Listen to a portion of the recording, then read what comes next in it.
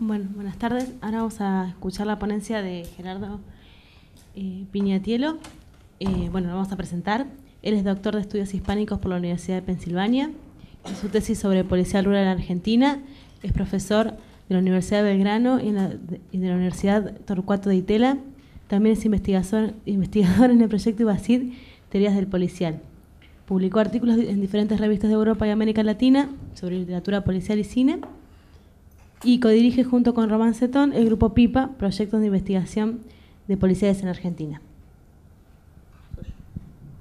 Bueno, gracias. Em, un poco el trabajo que voy a leer sobre Saturnino Muñagurria, que no conoce nadie, em, y que no sé si es importante, pero eh, no sé si es importante Muñagurria, no que no, lo conozca nadie. Tiene que, o se, digamos, se relaciona con esto que, trabajó también Hernán, con el tema de la, de la argentinización o de la búsqueda de un verosímil a la hora de establecer un policial en Argentina. Y, también con las ponencias de ayer de, de, Román, por un lado, que cuando mencionó que en alguna de las polémicas que hubo o de discusiones en torno al policial estaba ese tema de hacer un policial nacional, o no. Y, y también con la Forgue que mencionó eh, el caso del texto de Gamerro, porque es algo, es una constante que vemos a, eh, a lo largo del, tiempo, los momentos en que la crítica se pone a pensar, o ya sea por un lado eh, el tema de, la necesidad de establecer o validar un, policial nacional, aparece el tema del verosímil, y también está en los momentos críticos o los momentos, donde hay, donde hay problemas con establecer los vínculos o, alguna, eh, alguna idea más o menos establecida de lo que debe ser el policial. Em, entonces, una cosa que, podemos observar es que, digamos, en los textos programáticos de Borges, que había trabajado Leticia ayer, por ejemplo, en su ponencia, que fueron publicados eh, entre los años 30 y 40 en las revistas El Hogar y en, y en Sur, el tema del verosímil no aparecía en primer plano porque siempre estaba la idea de un, policial eh, pensado en términos de, algo abstraído de lo real, de lo social, y de ahí después eh, el, debate que tuvo con Cayuá respecto de ese tema que, había mencionado Román.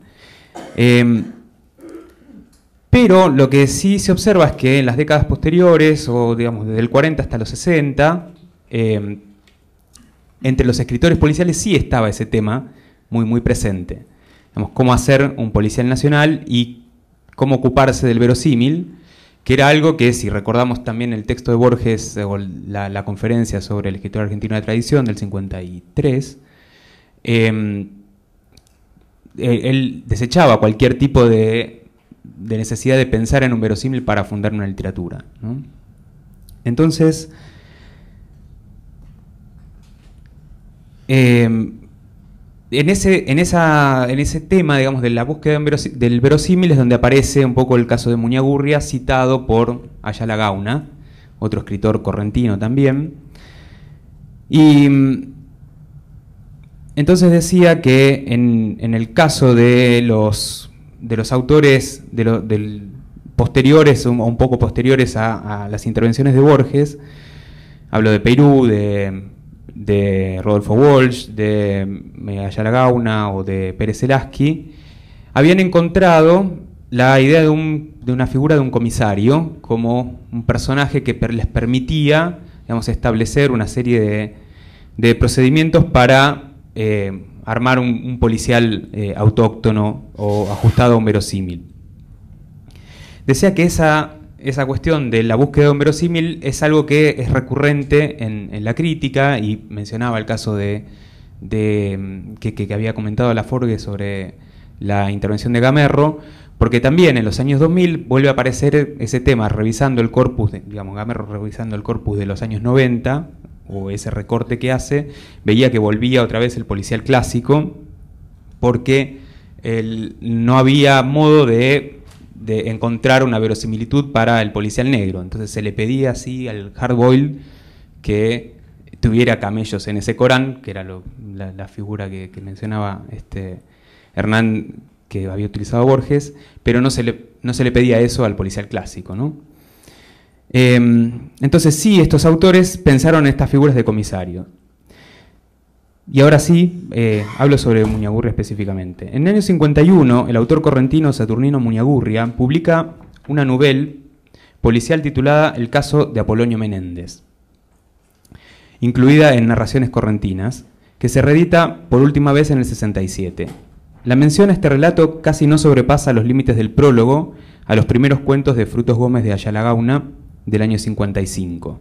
Y el dato se repite una o dos veces más, una en, un, artículo de Eugenio Castelli sobre Ayala Gauna y repite otra vez el mismo, el mismo dato Eduardo Romano en un texto del 2001 sobre la literatura regional y no vuelve a aparecer en ningún lado. Eh, y Ayala Gauna veía en aquel prólogo que había un argumento recurrente en la crítica, y era la, imposibilidad de una literatura nacional. Y ahí es donde aparece la mención a, a, eh,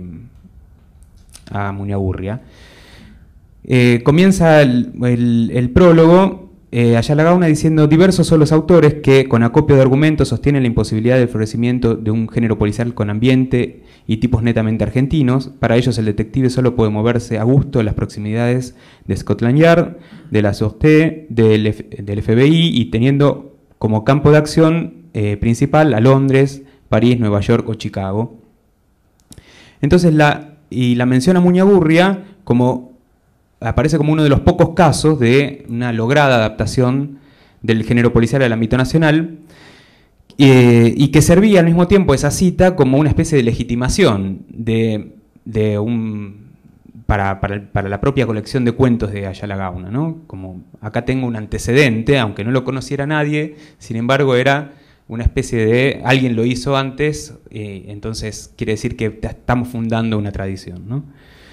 Eh, y el propio eh, Ayala Gauna me menciona una especie de genealogía que empezaría con Calíbar de Sarmiento, ¿no? el, rastreador como el, primer detective eh, del policial argentino. Vuelvo a citar un, fragmento de Ayala Gauna, dice, los cuentos de ficción policial son perfectamente posibles de desarrollar dentro de una atmósfera argentina y entre los ya publicados es grato indicar uno que posee originalidad y suspenso pero es poco conocido por quienes están familiarizados con las aventuras de Ellery Quinn, el padre Brown, Poirot, Reader, Max Carrados, etc. Se trata de El caso de Apolonio Menéndez, que figura en el libro Narraciones Argentina, eh, Correntinas perdón, de Saturnino Muñagurria, y ahí se termina la mención al nombre de Muñagurria, que fue un escritor menor, eh, escribió un, eh, un, diccionario de guaraní castellano y una serie de relatos este, vinculados a las leyendas correntinas, y este, este policial, y no mucho más. Y fue juez criminal en, la provincia de Corrientes. El caso de Apolonio Menéndez cuenta la historia del asesinato en la provincia de Corrientes de un inmigrante español, Santos Banda, a manos supuestamente de su socio, Apolonio Menéndez, quien había contraído una gran deuda con el muerto. El cuerpo de la víctima es encontrado con el puñal de Apolonio clavado en la espalda por peones rurales en el Mbrucuyatí, una especie de gran pajonal cerrado y laberíntico, escondite de bandidos y cementerio clandestino de ajusticiados anónimos. El juez, en lo criminal protagonista del relato, debe encargarse de la investigación del caso porque no cree que Apolonio sea el asesino, y porque nadie más quiere seguir indagando, dado que ya se realizó la captura de un culpable y la policía de Teyucuá, en el departamento de Mercedes, no piensa ni quiere buscar más pruebas. En consecuencia, el juez se traslada en un viaje por la selva correntina hasta la estancia de los Menéndez dedicada a la producción de madera y allí se propone investigar lo que la policía se negó a hacer. El relato es extenso y curiosamente sepulta la verdad. La asesina es la esposa de Apolonio, que tratando de defenderse de los lances de Santos Banda, lo mata y con la complicidad de su suegro, Narciso, es enterrado en medio de la selva. Todo esto al juez se le presenta como confesión de Alicia, la esposa del acusado, y no como efecto de la deducción. Eso es lo más particular. El, relato gasta mucho tiempo en esta especie de aventura que, se, que va, a emprender el juez de meterse en, un largo viaje por la selva para encontrar eh, al culpable y no logra hacer ningún tipo de investigación. Simplemente la, esposa del, del que está acusado se le presenta y le dice yo lo maté. Listo. Entonces lo que tenemos es un gran relato de aventuras en realidad del, juez yendo en el medio de la selva. Lo que Muñagurra presenta de manera compartida con los relatos de comisarios es la revisión del sistema legal. Pero en su caso específico se centra en el Poder Judicial Provincial, al que no solo el personaje protagonista del relato pertenece como juez, sino también el propio autor, como había mencionado antes. Walsh, Ayala Gauna y Muñagurria recrean las condiciones de designación, trabajo, presupuesto y metodología de la policía rural a la hora de tener que encarar una investigación. Muñagurria da un paso más en ese sentido. El juez, que narra en primera persona el relato, el relato hace un estado de situación de la policía rural correntina en los preliminares del relato, precariedad salarial, destrucción y hasta procedimental, hechos que se suman a designaciones que no esconden prebendas o favoritismos. Esto es continuo en casi todos los relatos de, comisarios rurales, siempre la designación es un poco difusa, no se sabe bien quién es la autoridad que los enviste para, actuar como, comisarios, etc. En este relato, estas causas, eh, digamos, la precariedad y la informalidad de la policía, eh, rural, estas causas determinan la aparición de un suplemento policial. Y esta es una tesis de D.A. Miller, un crítico eh, norteamericano. Eh, y, Miller sostiene que ante las falencias policiales o por cuestiones de decoro, la literatura policial, en cualquiera de, sus vertientes, desarrolló un personaje que podía penetrar en la intimidad de las casas gracias a que no tenía la imprudencia del uniforme. Ese personaje es el detective privado. Aquí esta figura está representada por un juez, quien también, gracias a su prudencia e investidura, logra entrar a la propiedad del imputado y alojarse ahí, como pasa también en muchos casos del policial.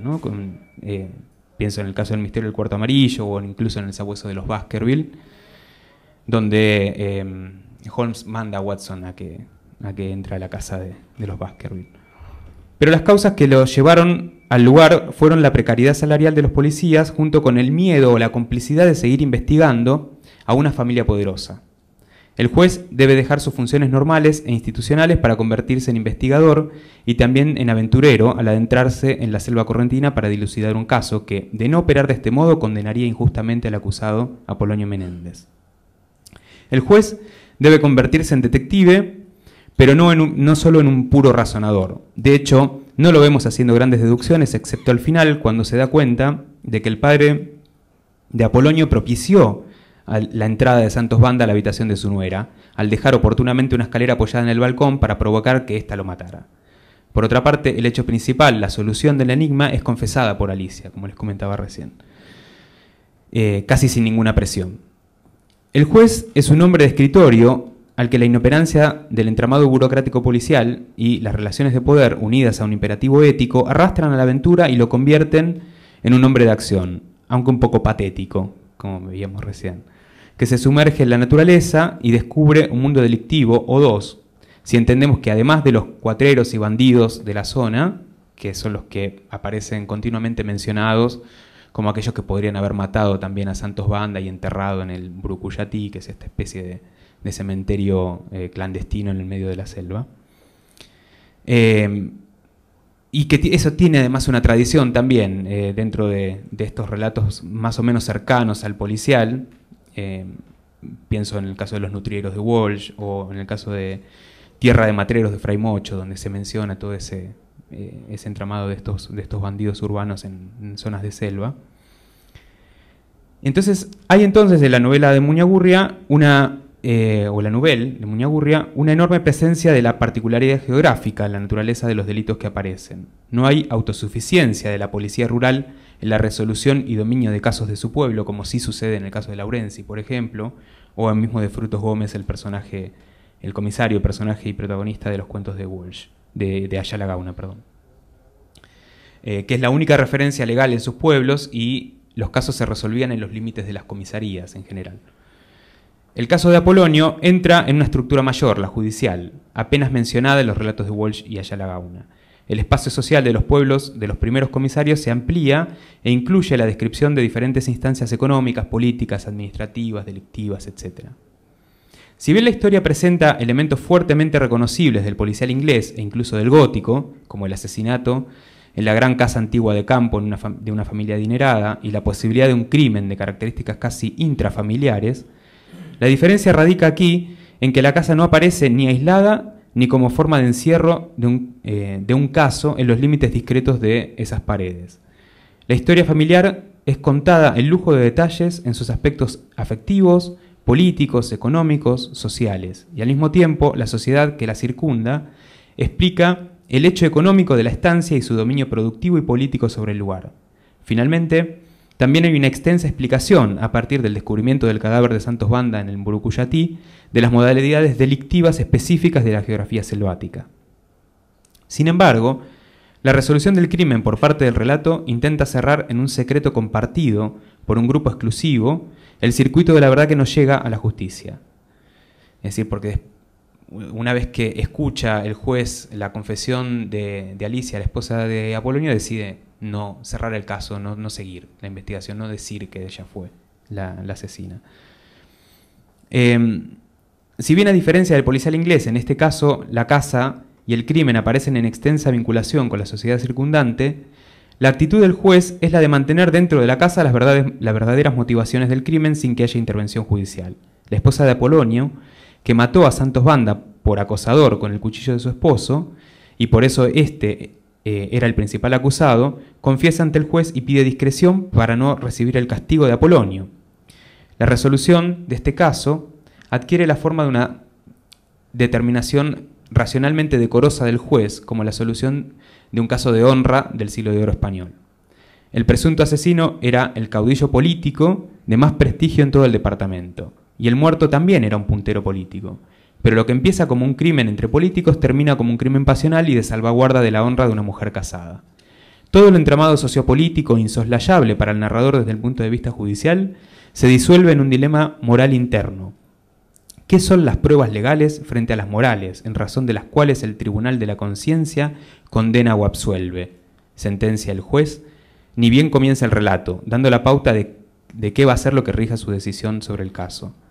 El relato se centra en salvar a un presunto inocente de los deficientes procedimientos judiciales, pero termina por ocultar las verdaderas razones del crimen debido a una decisión personal del juez.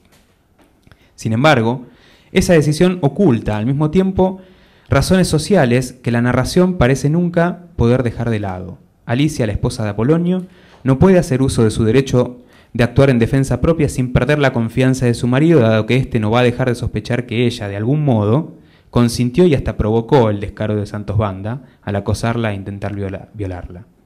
De este modo, la historia que se presentaba como narración sobre la justicia como procedimiento y aplicación institucional termina por una razón de estructura social girando en torno a, la acción, discrecional del juez. Algunas conclusiones. Perú, Ayaragauna, Walsh, Pérez Elaski, en la adaptación y traducción del género, se centraban en la policía. Muñagurria lo hace en el sistema judicial. Los primeros presentan a policías probos que hacen funcionar la justicia a partir de sus conocimientos territoriales y de la autoridad ganada con arrojo o inteligencia o una mezcla de ambas. Muñagurria también eh, perdón, muestra al sistema judicial haciendo un esfuerzo extra porque los policías esta vez no hacen su trabajo por una falta principalmente económica. Pero también el juez se presenta como un hombre probo, impoluto y de conducta intachable, porque debe resolver un caso de corte moral. Traducir y adaptar fueron tareas encaradas a partir de la creación de un verosímil entre las décadas del 40 y 60, y esto implicó revisar la situación del sistema legal con el que el género podía contar para realizar la tarea narrativa de revelar el crimen y restituir la justicia. El, eh, el escaso grado de institucionalidad con que se encontraba con que se contaba, requería de los protagonistas, policías y jueces un arrojo físico. Por eso el tema del, relato de aventuras. El relato demandaba acción y los protagonistas debían aventurarse en el terreno, en ciertos casos indómito, donde hay, sin embargo, una tarea de despliegue estatal encarnada en la voluntad de los componentes humanos del sistema legal, los jueces y policías. El juez protagonista va en busca del relato estatal que pueda cumplir la función correcta de no condenar a un inocente busca pruebas que se traduzcan en narración investigativa, pero en el viaje se encuentra con datos morales y de decoro que juzga inadmisibles en el relato legal y su tarea como juez estatal se suspende. para juzgar un hecho cuya circulación se restringe a él, la esposa de Apolonio, don Narciso, el padre del imputado, y eh, algunos personajes más. Pero el orden social que explicaba las condiciones del caso no conocería nunca las causas del crimen que él mismo impide sacar a la luz.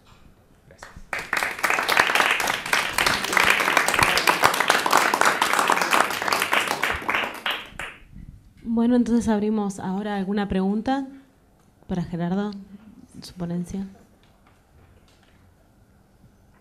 Román. No, una pregunta en relación con lo que comentás del policial rural y también en, parte en relación con lo que se comentó ayer de, las continuidades que pueden haber entre, entre la serie negra y, el western. Yo pensaba un poco cuando te escuchaba en la exposición que por ahí también en Argentina en el en, ese policial rural digamos, que vos estudiaste, uno puede ver ciertos elementos que tienen que ver con el western. en la configuración del comisario, que es este, su propia ley, digamos, cómo también hay una, especie de, de, afinidad, si se quiere, entre esos habitantes que persigue y el mismo. No sé, quería ver si podías decir algo en ese sentido. Sí, eh, sí, yo los vi muy relacionados y de hecho creo que cuando lo, cuando lo empecé a pensar, lo pensé a, pensar a partir del western justamente. La idea de, en principio, que el, que viene a establecer algún tipo de legalidad viene o suele venir de afuera, de, otro lugar, y es nombrado por alguien de afuera. Esa, esa, eh, o ese nombramiento suele ser en, en muchos casos de manera informal, como mencionaba antes, en el sentido de que había una... Eh, había, digamos, una instrucción para designar a alguien, pero esa designación no estaba muy no había protocolos muy claros para que, para que se hicieran. Entonces, nos encontramos en, digo, en, general en la, en la, realidad misma, digamos, en los, este, eh, historiadores que trabajaron con historia de las policías rurales mencionaban que este caso era recurrente, pero también en la narrativa eh, ficcional que es, eh, por ejemplo, un estanciero o el hombre fuerte del lugar era el que designaba a, por ejemplo, a su capataz de estancia como el, comisario del, lugar. Pasa con el caso de Laurenzi, que había trabajado en la estancia de, un, de alguien que había sido ministro de Irigoyen, o pasa con, con Frutos Gómez también. y cuando uno ve, por ejemplo, en el caso de las... De, de lo que pasaba con las designaciones de sheriff en, el western, también pasa algo parecido, digamos, era el, eh, un poco era el tipo que más expertise tenía en algo, en, el pueblo, y que podía llegar a ser figura de autoridad, y eso, digamos, era un poco autónomo de, parte de, la, de, la, propia comunidad, ¿no? Y a partir de ahí es donde se construye, digamos, una autoridad, pero en principio no había como un, no había un poder delegado, digamos, o un, poder formal delegado en esas personas, ¿no? Eh, entonces, en ese sentido sí tiene un origen muy, muy parecido. En relación con, por ejemplo, con el caso de, los rastreadores, para mencionar la otra figura que podría funcionar como, detective, eh, también, si pensamos en el caso de Calíbar, también funciona como una especie de suplemento de la policía. ¿no? La, policía eh, este, recurría a Calíbar porque tenía un saber que ellos no tenían, que era el de conocer el lugar y poder rastrear y llegar hasta hasta el quien cometió el crimen, digamos, ¿no? O sea que aparece también una figura de autoridad que tiene que ver con algo, con algo propio de la persona que se lo, se lo gana, digamos, por, por saber algo que los otros no saben, ¿no? O por poder hacer algo que los otros no pueden. Un poco iba también por ahí. Me parece que también el detective del negro puede ver fundamentalmente un modo de autoridad muy, personalista y la idiosincrasia como, como, como un elemento fundador de esa figura de, la autoridad. Y bueno, los, los, comisarios que vos mencionabas también, el modo ejercicio de la ley tiene que ver con, con, esa construcción de personaje así este, muy, muy particular. Sí, además que tienen la particularidad que tendría, por ejemplo, con, con otras características, pero pensando que el detective privado surge porque justamente no, tiene uniforme, entonces puede entrar a la casa sin que el otro se sienta interpelado o este, inspeccionado o lo que sea. Eh, un poco con los comisarios rurales pasa eso, por el lado de que eh, es más eh, amigo de la gente que antes que comisario, ¿no? Entonces, por eso es que hay un grado de, de, acceso a, últimas instancias, digamos, a, quien cometió el crimen, etcétera, de, manera mucho más directa. ¿no?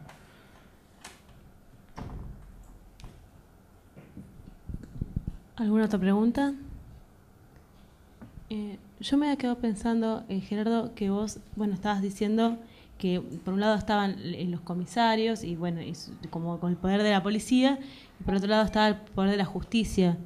Y bueno, como que primero parecía que iba a haber una distinción, pero después resulta que los dos proceden prácticamente igual, ¿no? Al final, yo lo que estaba pensando, por ahí vos sabés más de esto seguro, eh, que al final, finalmente los dos se imponen como una...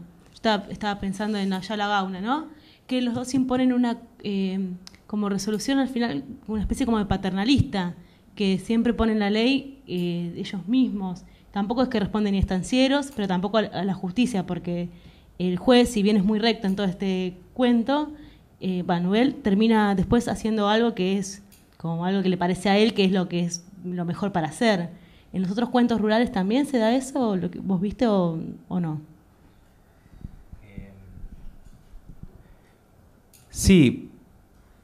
Una, lo que mencionabas con respecto a, a, quién, a quién terminan respondiendo, eh, creo que es bastante compleja la situación del personaje, porque en muchos casos aunque la designación haya sido por parte de, un estanciero, por ejemplo, no necesariamente responden directamente a, esa persona. Después como que se da una dinámica del personaje dentro del pueblo que hace que por momentos sea el representante del Estado o de, algún poder mayor ante los ciudadanos, pero muchas veces también funciona como el representante de los ciudadanos ante una instancia mayor, ante el Estado.